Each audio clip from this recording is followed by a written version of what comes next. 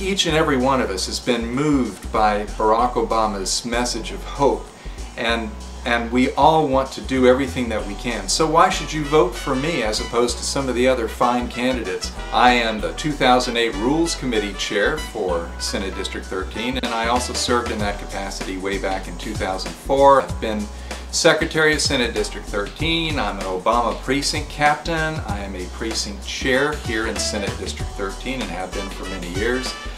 Co-founder of Montrose Area Democrats and first president of Montrose Area Democrats. I've been around for a long time and I've been working very hard in the Democratic Party.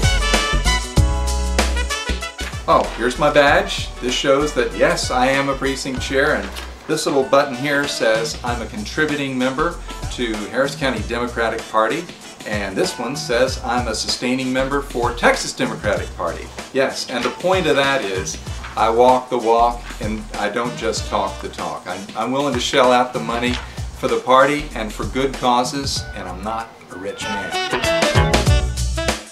Well, I will tell you, I've been a Democrat since 1968 and since 1968 I've been distressed at the problems that we face in our country.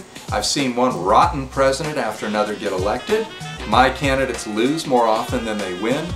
And I've seen a tremendous division taking place within this country and it's not a good thing. It's not a healthy thing. And I heard a young man speak, Barack Obama, I heard him speak a few years ago, and I realized the first time I heard him speak, this is a man who can transform America.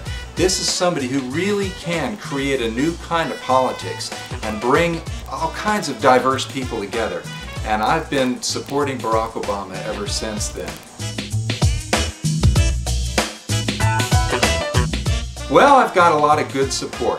For one thing, I've got City Councilman Ronald Green, City Councilwoman Wanda Adams, uh, State Representative Senfronia Thompson, the current head of Senate District 13 and the past two heads of Senate District 13, John Bland of the TWU, Clara Caldwell of the APRI, Stan Merriman with the um, PPC, the Populist Caucus, the present uh, heads of the Oil Patch Democrats, well it goes on and on.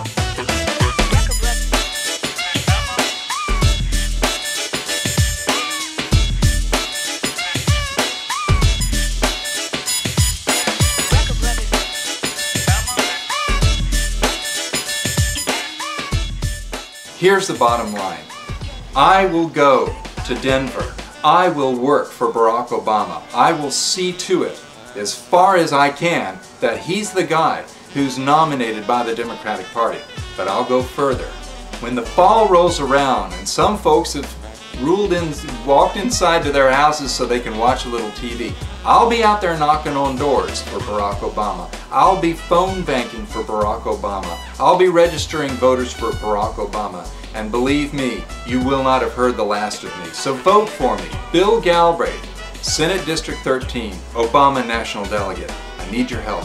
Thank you.